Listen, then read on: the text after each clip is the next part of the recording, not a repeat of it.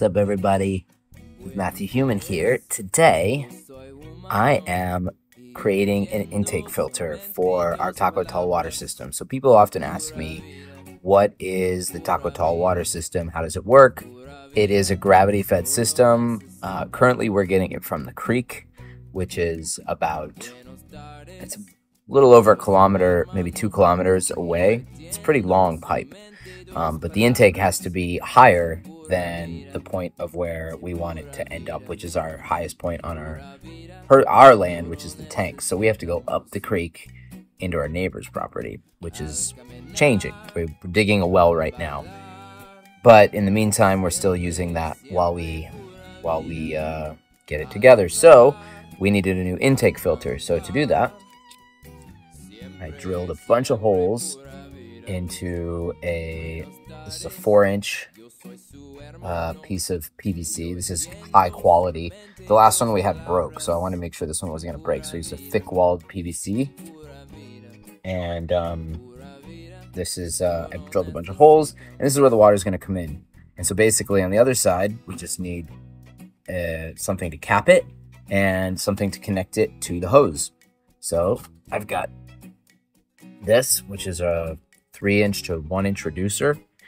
And on this, the other side, we're going to do a three inch to two inch. And that's just going to give me two little nubs that I can uh, tie wire to so I can tie uh, a piece of screen around, which is going to be the first level of the filter. So I'm going to get started. I'll leave this going here.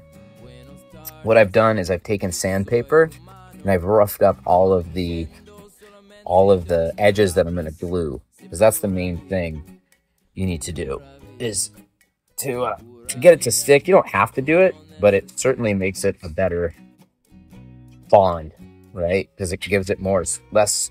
You don't really want flat surface. You want a kind of coarse. Uh, I don't know, call that graded surface. You want some kind of something more for it to uh, to bond to. So what I always start with that. Let's start with our, our one end. So this is a two inch. I've already I've already sanded that down. You can see it right here. It's already sanded. And then we just need some glue. And this is PVC glue. It's like plumbing glue. This is pretty common. I'm gonna glue this end of the cap onto this side. And you can see this comes out. This is like a, a liquid kind of paste almost go all the way around. Just quarter turn. There we go. And it'll be bonded.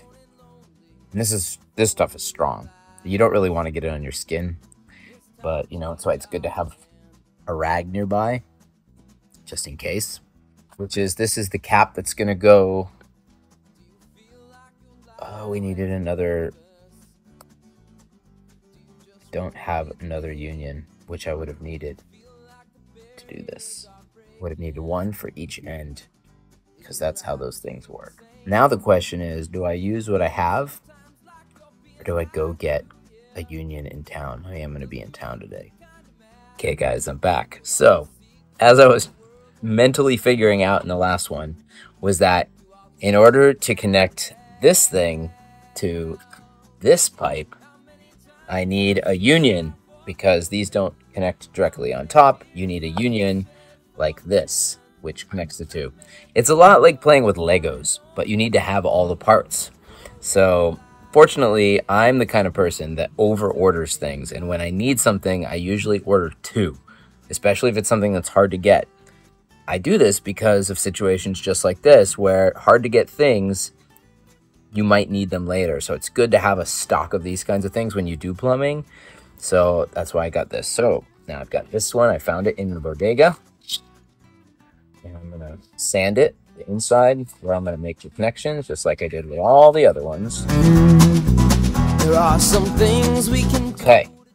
Now we can keep gluing what we were doing before.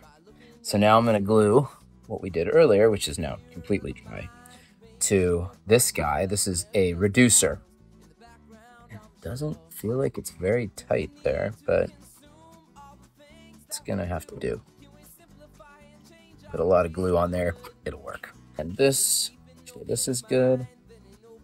Realizing I didn't send this connection yet.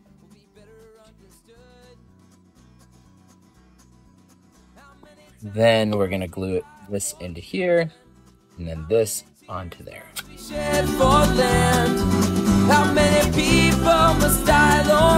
And you have like a couple minutes to get it, you know, like not a not a couple minutes. You have a little bit of time, but half turn. We'll let that settle. And I'm doing this. I could just use a cap, right? That would just cap off the end. But I'm using this because I want to have space to tie um, wire to put a piece of screen over the whole thing. And this is already setting, so that's good. This is the union. Glue the, the reducer into the union. Oh my gosh, this is so big. These three inch pieces. I really needed a bigger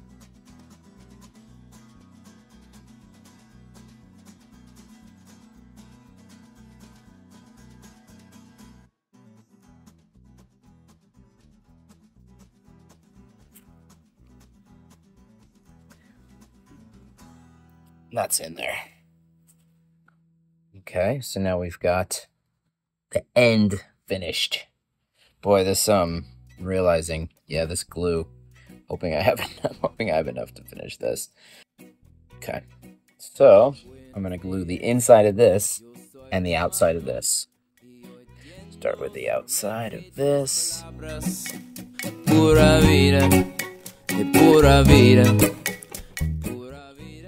Going to do the inside of this. A lot of glue. Okay.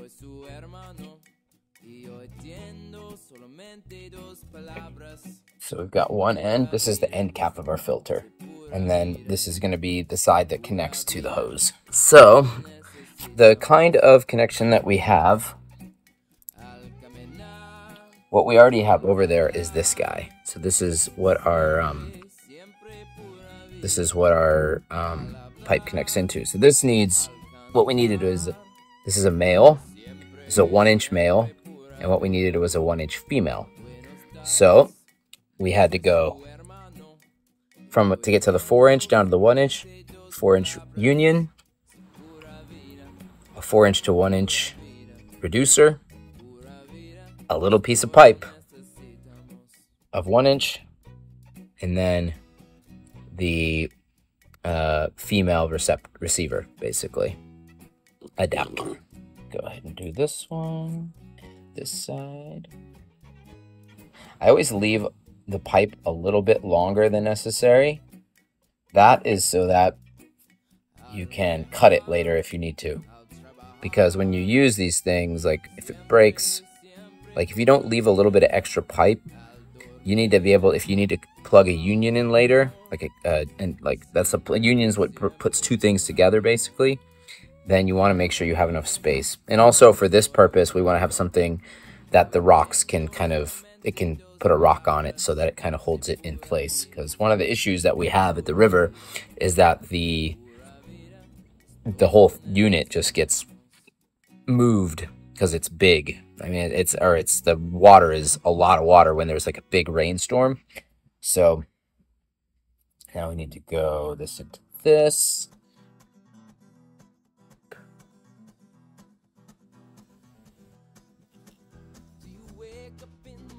Plug her in.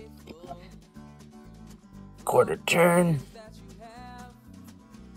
There we go. And then this is gonna screw into that on this side. Now, we've got plug this into the union, plug the union into that, we're good.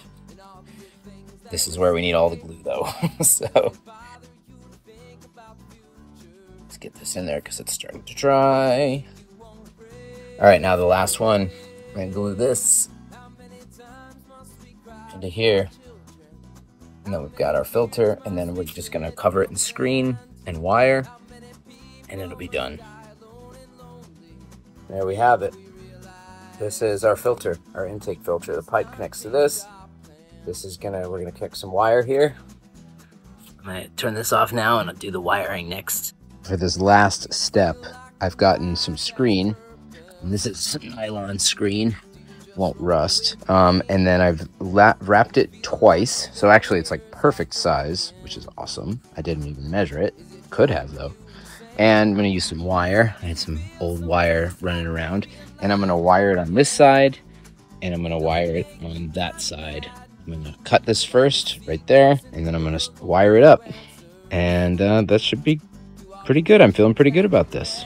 Okay, so here it is, the final product. I uh, took some wire and I wired, um, started on both ends. And I did starting one from this end and one from this end and I wired it around. This is gonna hold the screen on, kind of wrapped it around it. Um, it's always good to have a lot of extra wire up the creek um, and a little extra screen. So I kind of overdid it. I only wrapped this two times because I don't want, we, we want water to be able to get in here. So we don't want to clog it too much, um, especially in a low flow time of year. So yeah, I think this is going to work. Got wire on here all the way around, holding it, holding it in.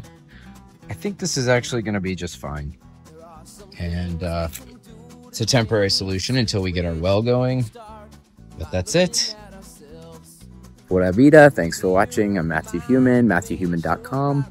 You can check me out at Finca Vida Verde, Finca Vida Verde, Costa Rica. And I also have a podcast, the Vida La Vida Verde podcast. You can check it out every Tuesday on YouTube at La Vida Verde podcast. Pura Vida open heart will follow our purpose will be better understood. How many times?